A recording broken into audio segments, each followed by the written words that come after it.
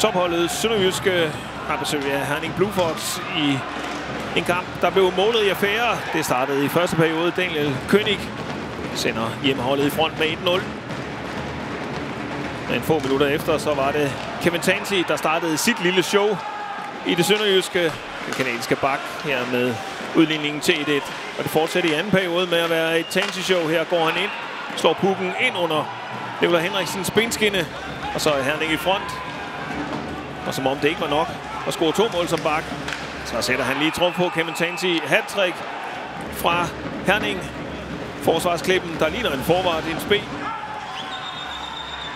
Så ligner det en Herning føring på vej ud af perioden, men William Bøjsen får reduceret. Og så er det Martin Eskilsen, der efter en pasning fra Gabriel Desjardins udligner til 3-3. Og det hele bliver afgjort med en scoring i tredje periode.